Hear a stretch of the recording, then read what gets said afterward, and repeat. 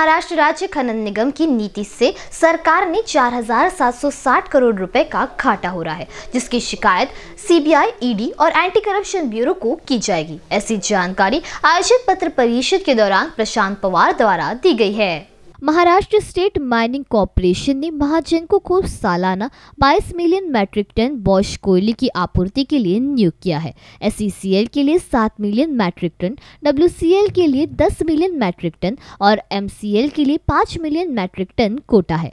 80 प्रतिशत wash coal supply और 20 प्रतिशत वॉश कोल सप्लाई के लिए दो अलग अलग टेंडर मंगवाए गए हैं, जिसके लिए काम आवंटित किया गया है। इसमें हुए भ्रष्टाचार को लेकर हम पहले ही पत्र सम्मेलन सम्मेलन में बयान दे चुके हैं और सभी मीडिया ने इसका संज्ञान लिया है और इसे प्रचारित किया है। ऐसा कहते हुए प्रशांत पवार बोले कि हमने इस भ्रष्टाचार की शिकायत भ्रष्टाचार निरोधक ब्यूरो नागपुर को की है और इसकी जाँच की जाएगी। हा जो आहे हा मेजर मुद्दा आहे की सहाशे रुपये टनाचा तीनशे रुपये टनाचा कोळसा मार्केटमध्ये चार हजार पाच हजार रुपये टननी जाऊ शकतो. मिनिमम तीन हजार रुपये टननी जाऊ शकतो. तर हा कोळसा ओपन मार्केटमध्ये महाजनकोचे लोक का बरं विकत नाही? हा सगळ्यात मोठा प्रश्नचिन्ह आहे.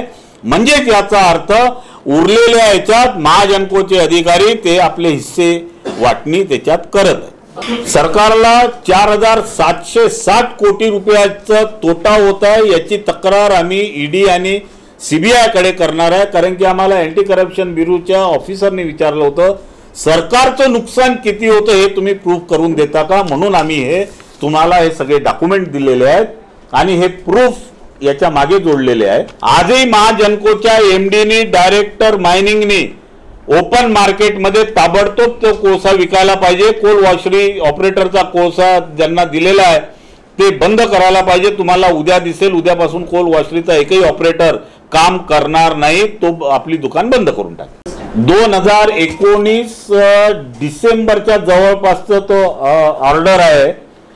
मा मागचे ऊर्जा मंत्री तत्काळ त्यावेळेचे आपला मुख्यमंत्री यांच्या वेळेसचं हे ऑर्डर आहे. आणि सगळ्यात मोठं प्रश्नचिन्ह की त्यांनी इलेक्शनच्या एक महिना पहिले कसं काय ऑर्डर दिलं? त्याच्यामुळे ती इन्क्वायरी व्हायलाच पाहिजे ती. ते कोणी नाही नाही करणार तरी आम्ही ईडी सीबीआयला दिल्यानंतर कोर्टात जाऊ याच्यात काही वाद नाही. इस पत्र परिषद का मुख्य मुद्दा यह है कि रिजेक्ट कोल के मामले में कोयले की धुलाई के बाद 2500 केसीएल किग्रा का जीसीवी वाला कोयला कोल रिजेक्ट कहलाता है। कोल वॉशर से बड़ी मात्रा में अवशिष्ट कोयले का उत्पादन किया जा रहा है। करीब चार दशमलव छिहत्तर एमएमटी कोयला कोल वॉशरी सबसे अच्छे कोयले के रूप में अपने आप को करीब रख रहे हैं। सरकारी दर के मुताबिक पीएमटी का नुकसान करीब 225 रुपए है। उपरोक्त कथन से वार्षिक चार दशमलव छिहत्तर एमएमटी के अनुसार पाँच, हालाँकि कोल वॉशरीज को 80 एम कोयले की आपूर्ति की जा रही है। हम चाहते हैं कि महाराष्ट्र सरकार पहले से घाटे में चल रहे महाजनकों को बचाने के लिए खुले बाज़ार में बेकार कोयले की बिक्री के लिए टेंडर जारी किए। हम महाजनकों और महाराष्ट्र राज्य खनन निगम ने उन सभी अधिकारियों की उच्च स्तरीय जाँच की मांग करते हैं जो निविदा प्रक्रिया में शामिल है।